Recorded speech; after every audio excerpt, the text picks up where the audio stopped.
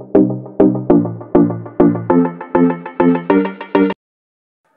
everyone, I'm William Palima, the Abaca King. Welcome to my YouTube channel, the Chris Will Abaca Farm Vlog. So for today's vlog, ipapakita ko sa inyo mga farmers ang aking Abaca Fiber. So ito mga farmers ang tinatawag dito sa amin ay iskuhido. Yan ang gagamitin sa paghabi o tinatawag na tinagak.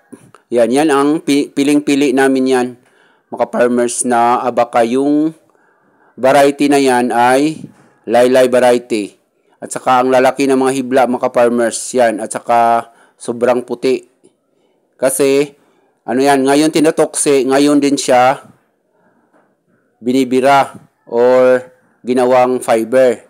Kasi pag kinabukasan, maninilaw na yan mga farmers. Kailangan, pag once na may iskuhido ka, kailangan ipabira mo kaagad.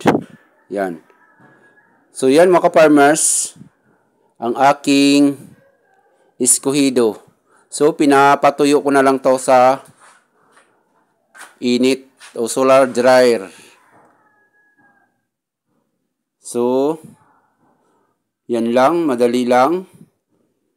Magtiyaga tayo.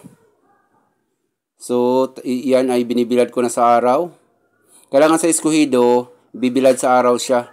Kasi i-stack mo siya eh matagal pa yan mahahabi. Kailangan mainitan yung fiber sa baka. Yan.